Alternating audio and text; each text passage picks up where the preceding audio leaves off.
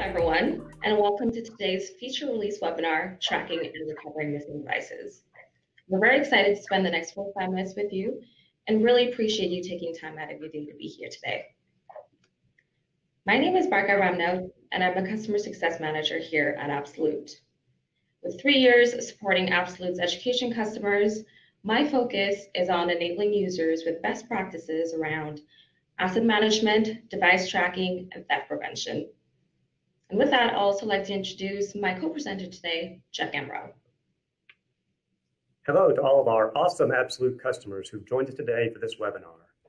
Barkha and I are coming to you today live from beautiful Vancouver, British Columbia, Canada, where Absolute's global headquarters are located.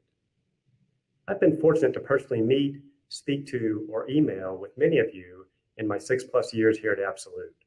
But for those of you that I haven't had the pleasure of meeting yet, I lead the Absolute team that's responsible for conducting your stolen device investigations and which works hard every day to help you maintain the security of your device inventory. I'd like to start by explaining our objectives for this presentation. First, we want to help you understand that all unaccounted for devices are not the same. Instead, they broadly fall into two categories those that are missing and those that have been stolen. And Barkha and I will talk with you today about the differences between the two. Second, with the new console features we're releasing soon, all unaccounted for devices needn't be treated the same way anymore. In the near future, you'll be able to follow one workflow that's optimized to help you locate and reclaim your missing devices, and another workflow that's designed to recover your stolen devices. And finally, for those of you who've purchased Resilience for Education licenses, we're going to discuss some improvements to the Service Guarantee Program. So we'd like to get started by asking you to take a quick poll. We'll discuss the results of this poll in a minute. And while you're providing your answers, I'll tell you about one relevant incident that has stuck in my mind. A few years ago, one of our education customers had a student who reported leaving her issued device at a local place of worship. When the student went back later to retrieve the laptop, Guess what? It was gone. Following our current stolen device workflow, the student had to report the loss to the police, the customer had to obtain the police incident number from the student, and then the customer had to submit a theft report to us via the Absolute console. Six months passed until one day the customer advised that the missing device had been located.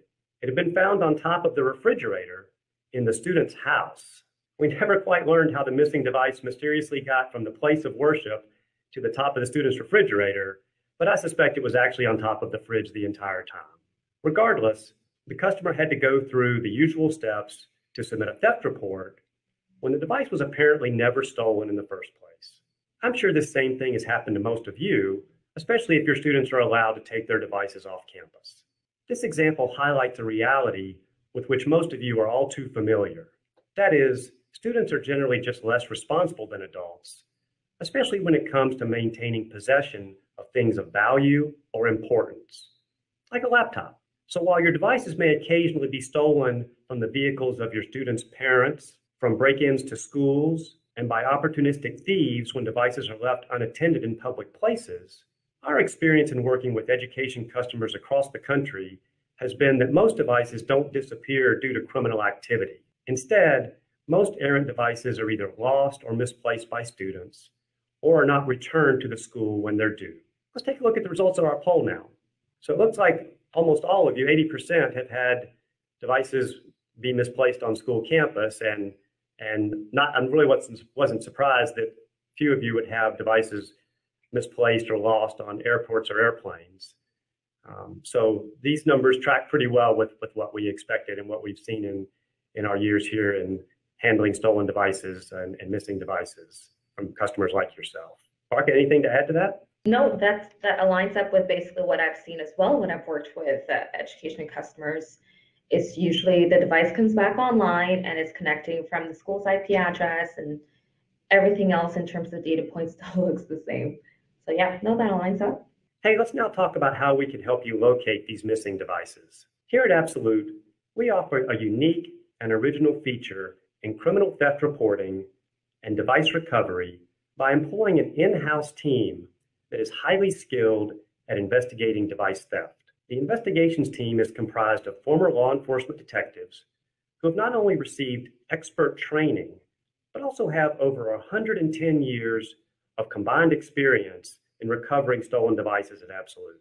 However, we also recognize your need to track devices that are unaccounted for, but may not have actually been stolen. So we're addressing that need with this new missing device feature and workflow. Before Barkha walks you through the new functionality that'll soon be available to you in the console, I'd like to take a minute to briefly explain how you can tell if a device is missing or if it's been stolen. So put your detective hats on. Here are two general circumstances for why devices are unaccounted for. The left side of the screen represents your devices that are simply missing, which may be a frequent occurrence in your environment. Some common scenarios we've seen for why devices go missing is they've been misplaced, left behind, accidentally picked up by a different person, inadvertently issued to the wrong user, or not returned by the person to whom they were assigned. Devices can also go missing under other scenarios. However, the common denominators for all missing devices are that you don't know the device's whereabouts and there's no known criminal intent that caused the device's disappearance. We'll talk about how to identify criminal intent next. But before we leave, let's recap what we've learned so far. If there's no evidence that an actual crime has been committed, then the device is considered missing. The right side of the screen represents your devices that have been stolen in a crime, like a break into a car, a school, or a residence. Stolen device scenarios usually result in evidence that someone intended to break the law, such as broken window glass, a busted door lock, or a witness who saw someone intentionally take a device that didn't belong to them. Evidence of a crime satisfies the first criteria for a stolen device. The second criteria of a stolen device is your willingness to prosecute the person responsible, if called to do so by law enforcement. Your answers to these two important questions will assist you in determining which workflow you'll use to recover your device. If there is either no evidence of a crime, or there is evidence but you're not willing to prosecute the perpetrator, then you should use the new missing device workflow to self-recover your device without the involvement of law enforcement. On the other hand, if there is evidence of a crime and you're willing to prosecute, then you should, you should use the stolen device workflow so Absolute can work with the police on your behalf to recover your device. Now that I've explained the differences between missing devices and stolen devices, let's examine and compare the features of each distinct workflow. Let's start out by talking about your missing devices again. When you flag a device in the console as missing, the persistence of the absolute agent allows you to retain full visibility and control over that device, even though it's out of your physical possession. Absolute will monitor a device that you flag as missing for signs of activity and will alert you by email the next time the device connects to the internet. The email alert will identify the device in question and will include a link to the device record in the Absolute console. Clicking on that link in the email alert will allow you to see the most recent device information such as the IP address and username that may help you self-recover the device.